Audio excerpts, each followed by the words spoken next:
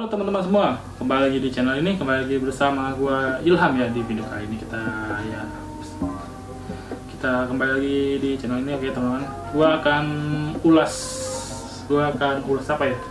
Gua akan ulas, oke, gua akan ulas video yang main buat itu review dari smartwatch dari Realme gue akan ngasih pendapat ya tentang penggunaan gue selama satu bulan belakangan ini untuk ini untuk smartwatch ini adalah benar-benar kualitasnya benar-benar bagus ya. Nah gue ambil boxnya biar kelihatan boxnya. Nah gue sebenarnya puas banget teman untuk pakai jam smartwatch dari Realme ini ya teman ini benar-benar harganya murah meriah dan fiturnya juga lumayan banyak dan benar-benar kompatibel dengan eh, benar-benar kompatibel benar-benar enak banget dan juga untuk pengecasannya ini tinggal dibuka di sini teman-teman. Tapi sini juga agak keras ya. Jadi untuk pengecasannya tuh ada di kan sini layar. Ada di layar nah di sini di atasnya tuh ada tempat ngecasnya nih. Bentar ya. Agak susah. Nah di sini tempat ngecasnya teman-teman. Tempat-tempat ngecasnya di sini ada ada apa sih namanya? Yang mas-mas ini nih. Mas mas lagi. Yang ada besi emas ini kan nih kayak buat aliran listriknya sih teman-teman tinggal colok aja ke USB bisa juga di laptop dan juga colok aja di yang buat USB nya tinggal colok terus kalau udah selesai tinggal ditutup tutup aja. Oke.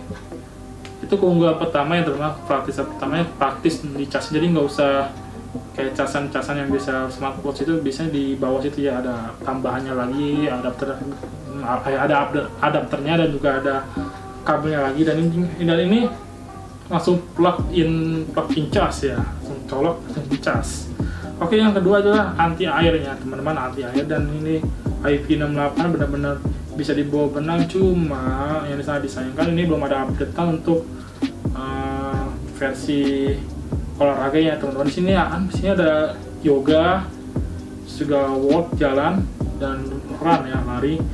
Dan sini nggak ada yang namanya berenang gitu ya apa tuh ya buat berenang tuh nggak ada fitur berenang di sini ya. Tadi sangat disayangkan dan ini juga nih saya nyala untuk deteksi real time jantungnya. Ini benar-benar memang real time. Benar bagus banget teman-teman. Gua rekomendasikan jika teman-teman mencari jam tangan smartwatch gue sarankan untuk Realme smartwatch ini teman ini benar-benar awet banget baterainya tahan sampai 6 hari tergantung pemakaian. Ya seminggu lah tapi tergantung pemakaian teman-teman ya jika pemakaiannya ya tergantung lah pemakaiannya lah. Jika jarang-jarang dilihat ya mungkin agak awet. Dan ini juga saya disa sangat disayangkan belum touchscreen tapi warnanya udah enak banget udah soft udah soft tapi belum touchscreen ya nggak apa-apa lah. Kalau belum touchscreen mah cuma emang gua nggak terlalu perluin banget. Cuma untuk build quality-nya emang bagus banget dan apa namanya buat karet pergelangannya ini nih apa sih namanya? Lupa gua. Nah ini tuh bagus banget ya kualitasnya benar-benar bagus banget bahannya. Ini cocok banget ya benar-benar cocok buat buat rolling traveling jalan-jalan nih. Ini benar-benar gokil banget dan overall bagus banget teman-teman. Dan ini benar-benar kotaknya. Dan packagingnya emang lumayan bagus ya udah gua review sebelumnya di video sebelumnya dan gue cuma di sini mereview aja pendapat gua selama pemakaian satu bulan ini. Dan cukup sekian lah teman-teman untuk review eh, untuk pendapat gua tentang Realme smartwatch ini. Semoga bermanfaat teman-teman semua yang nonton video ini.